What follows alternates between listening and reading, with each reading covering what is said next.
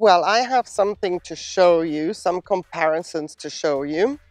If you've clicked on this video, maybe it is the answer to a question that you've been looking for. So welcome and thank you for joining me. I am extremely pleased that I can actually show this example of what is a root and what is a flower spike. How do they actually look?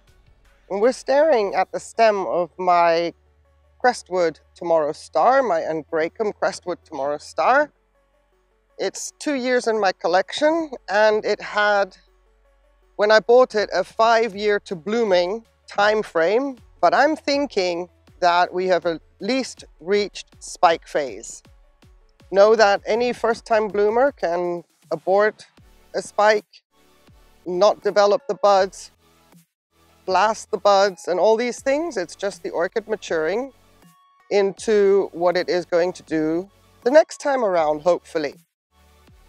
So I'm, I'm quite happy to be able to show right now the difference between a root and a spike on my Angraecum Crestwood Tomorrow Star. And I'll show the same on my Angraecum Bosseri over there because it is also in spike. But the, the Tomorrow Star is a little bit more, let's say, confusing or, well, harder to judge if there is even that terminology. Because on the Tomorrow Star or the Angraecums, these uh, Sesquipedale, the Veitchii, and these crosses, the roots do also come out of the same place as a spike would. So straight in the middle, right in the middle of the apex of the leaf. Normally that is where a spike would come and that's why it's easy to differentiate, okay, now that's a spike as opposed to a root. And as you can see, the bosseri as well, the roots coming straight out from the middle of the stem. Has the same attribute on the tomorrow star, comes straight out from the stem, but you can see how many roots have developed on the apex of the leaf joint where normally a spike would come out. But there is a very profound difference with regards to a root and how a spike looks. Now a new root will also have something that looks like this, which you could assume is a root tip.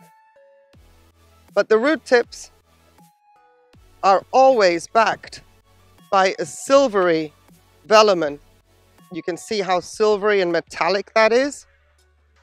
And this determines it's a root coming out of the apex as opposed to the spike that is green all the way. Now Angraecums are known for very, very large and long root tips. And I'm going to try and show you without trying to move the plant.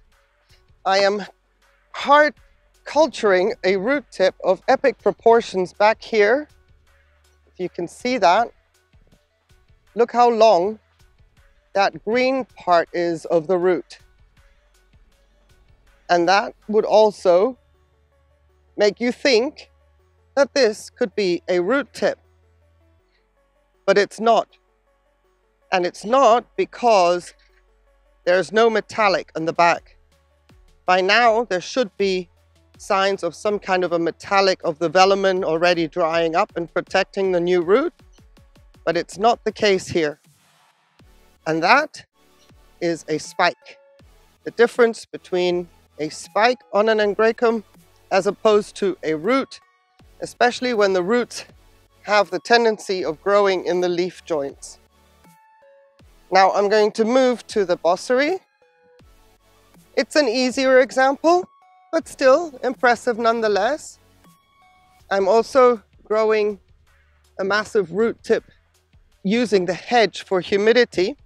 You can see it back in there, how green and long that is. That's almost like two centimeters of length of a root tip. And then look at the spikes, how they are. And they have this coating over the top. You can see the joints and the sections of the spike developing. That's not something you see on the root tips. Now again, with the Bosseri, it's so much easier because it doesn't have the tendency to grow roots in the leaf joints. So anything growing leaf joint wise, it is very obvious to identify it as a spike as opposed to getting confused with a root. That's not the case here.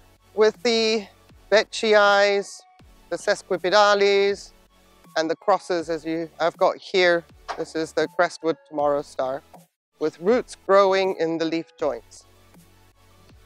As opposed to seeing what a spike looks like growing in a leaf joint.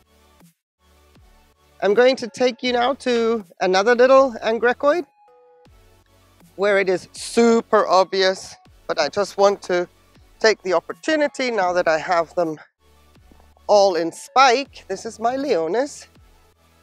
And this is obviously a spike, but when you see it for the first time, it's just a little like dot in the apex of the leaf joint as well. But it is easy to identify as a spike because look at how the roots are. These are not big roots. These are not difficult to confuse with a spike. Now, mine is still a young one, so it'll be nice to see if it'll make it and bloom out. I need to know which Leonis it is, but I can assure you that normally there are no roots coming from the apex of the plant. Until a leaf drops, there won't be any more roots forming up and throughout the stem of this angraecum. Leonis is in spike, and it's easy to see the difference, roots as opposed to spike. And that's, for me, just a little heads up if you had the question. I hope I could answer that for you. And let's hope that these two, three, never forget the little one, will actually have the strength and the maturity to bloom.